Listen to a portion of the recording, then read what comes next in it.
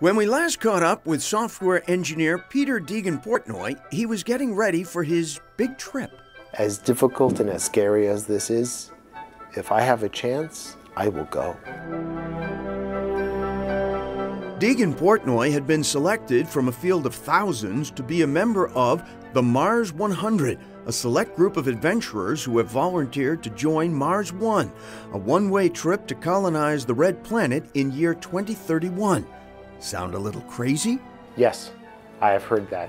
And I think a lot of other people in our species have also heard that. Imagine people getting into boats not much larger than this living room to cross the Atlantic Ocean and, and, and end up discovering the Americas. This idea of expansion and exploration, I think it's just deep, deep within us. Mars One, a private Danish company, recently entered bankruptcy. But its nonprofit arm, the Mars One Foundation, vows to continue its mission to create the first human settlement on Mars. Mars One is today and has always been a kind of a pie in the sky. If you thought a moonshot was a far off chance, this is a Mars shot. but for Degen-Portnoy, a married father of five, the decision to leave this planet has had real world consequences. My younger two, when they first learned about this, they asked me point blank, Daddy, why do you want to leave us? It was heartbreaking. I said, I don't. I don't want to leave you. I want you to grow up and be able to come and visit me on Mars. His wife's initial excitement for him, short lived. And it really was sometime later that she said, You know, you've indicated that you're willing to leave us forever. You can't ever take that back. And she's right. And uh, marriages are complex. Mars one is not the only factor, but it is a factor. Degen-Portnoy's marriage fell apart. I had a choice to make, and it was never an easy choice. But Mars One has also created marriages, and they've got the wedding rings to prove it. We have the sun, Earth with its moon, and then Mars with its two tiny moons. Blessed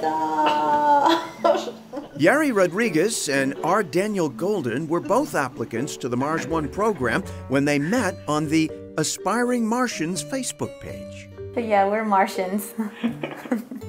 both have made the cut into the Mars 100. You might say theirs is a romance written in the stars. When I introduce my husband, oh, this is my husband, the Martian. Or we go outside and we, you know, don't close the door all the way and the wind pulls the door open. Like, hey, you're letting all the air out, Martian.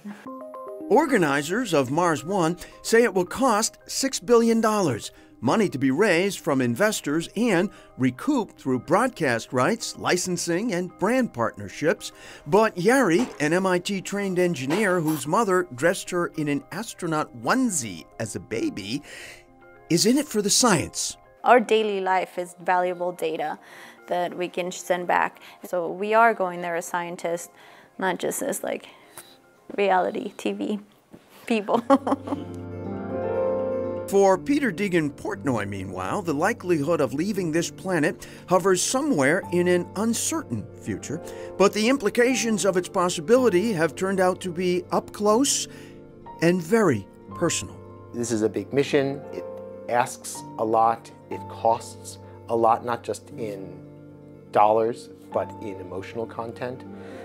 And so each time I ask myself the question, are you willing to do this? Each time I'm, I've answered, yes, I'm willing to do this.